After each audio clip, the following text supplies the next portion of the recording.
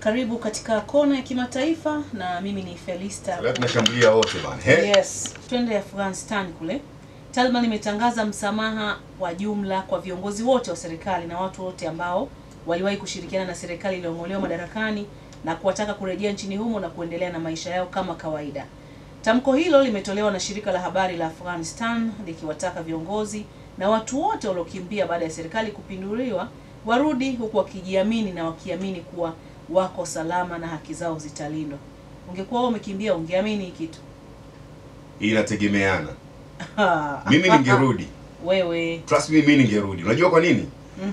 Taliban kama ulimsikiliza uh, jana mchambuzi wetu Mm. uh, wakati anazungumzia hili uh, Jawad Muhammad Mm. wakati analizungumzia hili alikwambia kwamba hata hata Marekani yenyewe ime iliona kwamba hakuna namna. Unajua hawa Taliban walikuwa wanawashambulia sana vikosi vya Umoja wa Mataifa. unajua Wale wageni. Eh, wale wageni walikuwa wanawapiga sana, na kilichokuwa kinawauma zaidi ni kwamba wageni wapo wanatufundisha sisi namna ya kujitawala, kwa wakawa wanawashambulia sana, wakawa wanapigana sana. Kwa hiyo baada ya, ya, ya wageni kuondoka, tena waliwaonya kwamba ondokeni, tukiwashambulia msilie, ondokeni, tukiwashambulia msilie, kwa sababu mkataba wa makubaliano ya kutoshambulia vikosi vya kigeni ulikuwa unaisha mwezi April. Mm, toka mwezi wa nne kumbe. Eh, ulikuwa umeshaisha. Kwa hiyo ile kauli ya Joe Biden kwamba ataondoka mpaka Septemba 11 watakuwa wamemaliza kuondoka, wakasema hawa wanaobaki hawa mpaka Septemba 11 tukiwashambulia msilalamike, Msitulaumu. msitulaumu. Lakini toka hapo hawajashambuliwa mpaka leo, mpaka walipokuja ku, ku, kufanikiwa kuwaondoa serikali ya Afghanistan.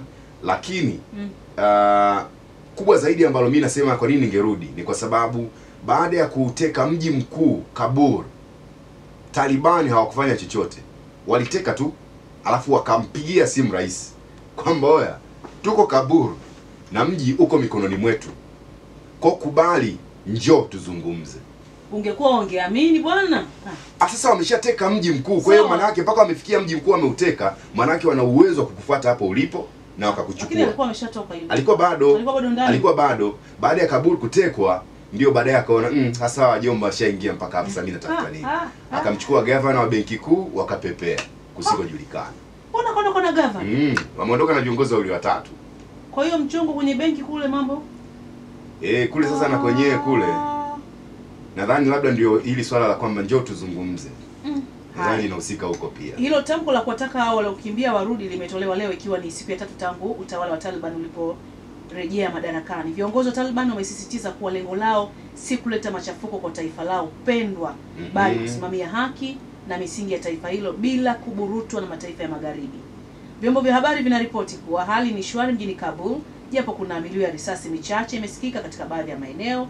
Kumeripotiwa pia vifo vitano kutokea siku ya Jumatatu kutokana na vurugu iliyozuka katika uwanja wa ndege wa kimataifa wa Kabul wakati maelfu ya Waafghan walipojaribu kuitoroka nchi yao. Watu wengine wasiopungua wawili wanadaiwa kufa baada ya kudandia ndege ya kivita ya Marekani iliyokwenda kuwaokoa raia wa Marekani waliokuwa Afghanistan wakati wa mapinduzi.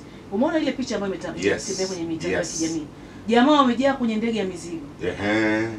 Sasa una, una unaweza ukapata picha kwamba milio ya risasi inasikika na ni michache, na hawa watu watano waliokufa ni wale waliofia airport, uwanja wa ndege, sio wakati wanadandia. Mm. Airport kulitokea vurugu, unajua ilipotua tu lile dege lile, Mm. ilipotua tu Kila mtu akataka wakashuka kwanza makomando wa Kimarekani, eh? sijui unanielewa Kama picha vile. Waka- wakatanda ile airport kwanza kwamba hapa wa ndani akae ndani wa nje akae akae nje anaingia Marekani tu ndani sawa baada ya hapo ndio tutaanza Ah. kuzungumza na nyinyi wengine watu wakaanza kuforce kuingia Ndio maana. ndio Wamarekani wakapiga risasi juu baadaye vuta likuvute zile kuna watu watano walikuwa wamekufa pale Oh, kwa hao waliokufa ni waliofia airport na hao wengine wawili ni wale ambao baada ya Wamarekani kumaliza shughuli yao wakafunga milango, wao wakaidandia ndege kwa nje.